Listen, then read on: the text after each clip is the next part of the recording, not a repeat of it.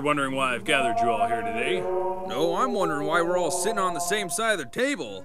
Matthew here's a lefty and our elbows keep bumping together. There's so much room over there. Why does Judas get to sit all alone and stretch out there? huh? Excuse me, Peter. Are you the Son of God? What? No, I just wanted to know. Are you the Son of God? Are you? No. What?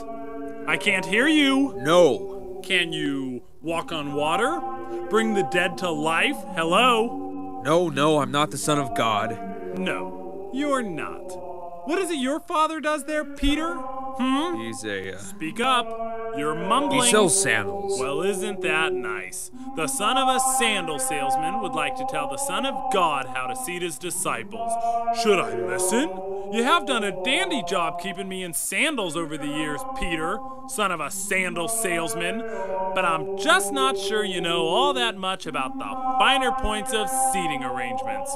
The Son of God would like us to sit this way. Is that okay with you, Sandal Boy? Is it? yeah, yeah, it's fine. Good. So glad we could reach an arrangement. I'll be sure and consult the son of a sandal maker in the future before I make big decisions. How about the rest of you? Anyone else want to give a little input here? Anyone else want to chime in? Huh? Huh? How about you, James? You want some? Huh?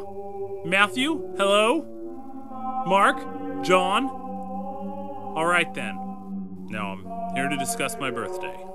Thomas, wake up. I'm gonna go soon, but people are gonna want to celebrate my birth. I want you guys to help me out. If I leave it to these people to organize things, it'll be a mess. Now look, I, I don't want donkey races or beer gardens, and, and I don't want the money changers getting in on the act, alright? I can just hear them now with their Jesus birthday two for one specials. Look, I just want something mellow. A nice, quiet, solemn affair.